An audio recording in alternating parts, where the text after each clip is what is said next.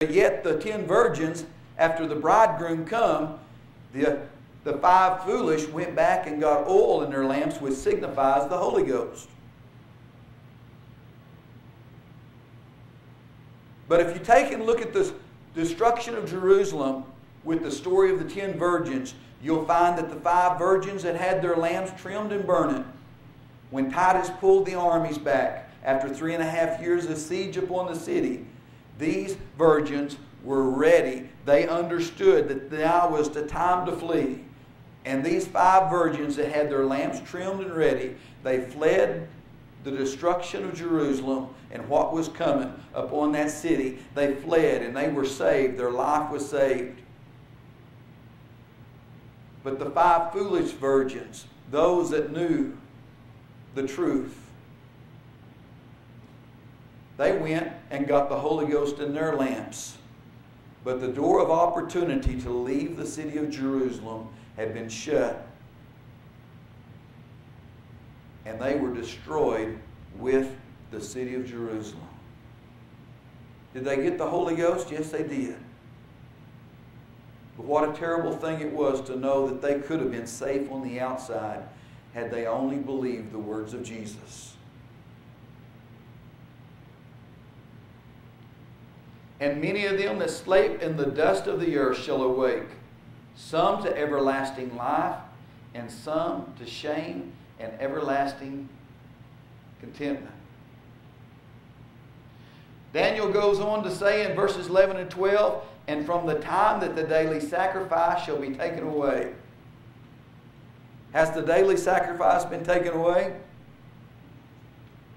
Yes, it has. Show me where they're making sacrifices today. When that temple was destroyed in 70 AD, there has never been another sacrifice offered in Jerusalem.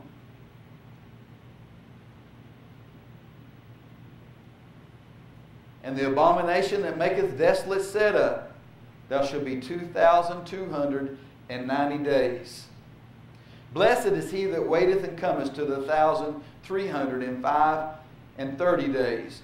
But go thou thy way till the end be, for thou shalt rest and stand in thy lot at the end of the days. And what Daniel is prophesying is the coming end of the old covenant.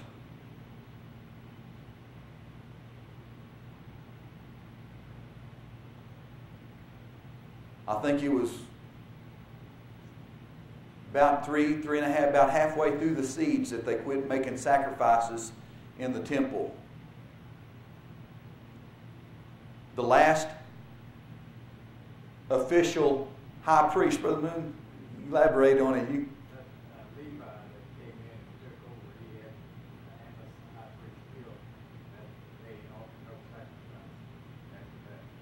Levi wasn't even actually in the priesthood, was he? He wasn't even in the priesthood. And you can read about Levi in the, in the book of Josephus. Ananias was the last official lineage of the high priesthood. And his, when he made his sacrifices about three and a half years before Jerusalem is destroyed. And Daniel saying how long it'll be from the time that last sacrifice is made till it's completely finished. And then he says, Blessed is he that makes it to the beginning of the new covenant church when it's in full swing.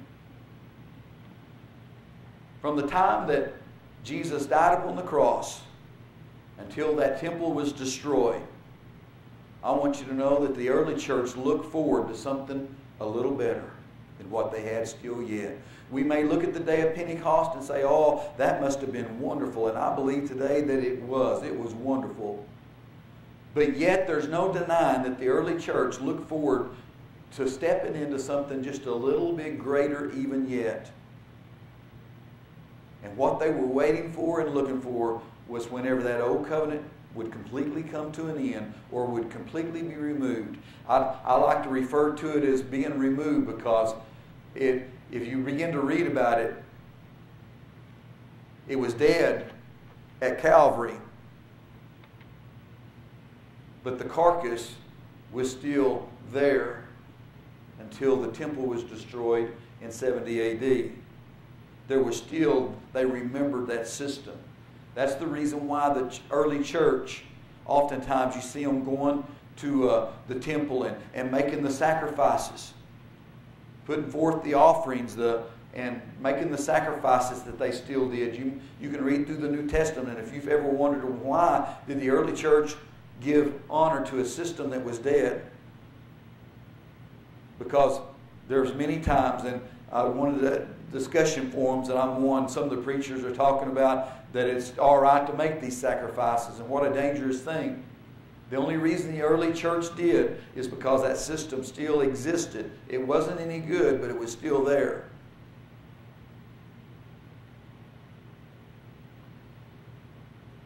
And the Bible says, Heaven and earth may pass away, but my word will never pass away. And as long as heaven and earth was there, that old covenant system, it was still active. That Paul wrote that we which are alive and remain. My Adam Clarke commentary, I looked this verse up, and Adam Clarke made the comment. He said that whenever the disciples said, and we which are alive and remain, that they really didn't mean we.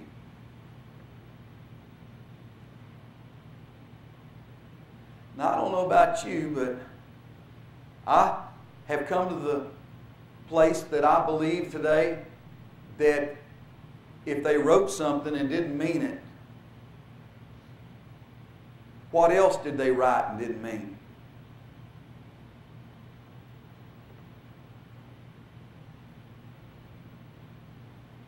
If they wrote something but really didn't mean it, what else did they write and really didn't mean?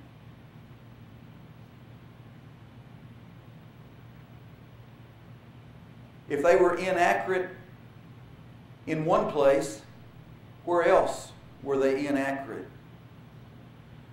Again, we have to remind you that this letter was written to the church of Thessalonians. And they were told, We which are alive and remain unto the coming of the Lord shall not prevent them which are asleep. In other words, this judgment that is being talked about all the way through Thessalonians that was coming against the old covenant church in Jerusalem. When God come to bring judgment against this old covenant system, that even though the church be alive and remain at that time, it was not going to prevent those that had already died coming back with God to bring judgment against this old covenant system. For the Lord himself shall descend from heaven with a shout, with the voice of the archangel, and with the trump of God, and the dead in Christ shall rise first. Those that are dead, they go on to be with the Lord first.